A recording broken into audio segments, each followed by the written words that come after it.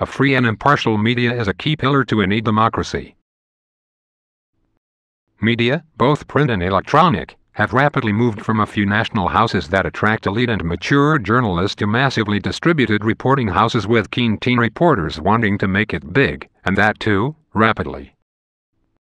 Advanced technologies and youth with an Indiana Jones attitude bring to light regionally and nationally important news such as misuse of project funds, scandals, kickbacks, and other everyday stories, mandating immediate response in the process.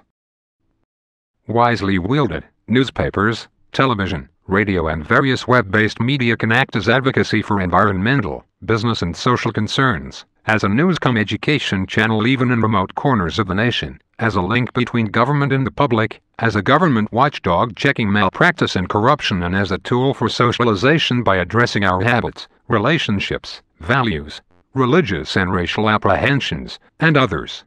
The role of media in disaster relief is also significant.